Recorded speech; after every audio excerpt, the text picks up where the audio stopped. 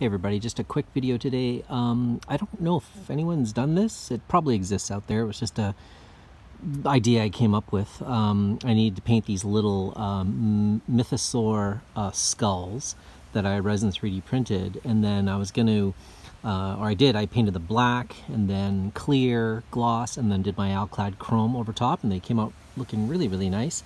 Um, and I was like, well, how am I going to paint them? You know, do I stick a wire through, or um, you know, paper clip or whatever, or hang them up on a piece of string. And then um, something I've been doing recently is just using like a, a, long screw, a long wood screw. And, you know, if there's a hole in the object to be painted, you can just kind of thread it in very gently. It's enough to hold it in place, especially for small objects, right? Nothing big.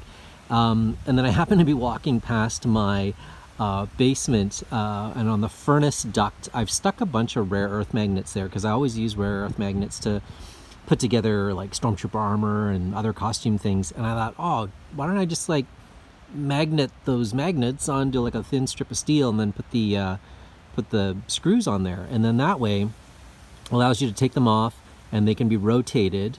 Um, and I painted these all together. I didn't even take them off um, the, this bar but uh, that worked out really really well. And um, you know even putting it like on a, on a table or a counter top that had like a steel top, you know, held them in place, they didn't fall over. Um, anyways, it was just a simple little trick, but it worked out really well. So maybe you can use that on an upcoming build.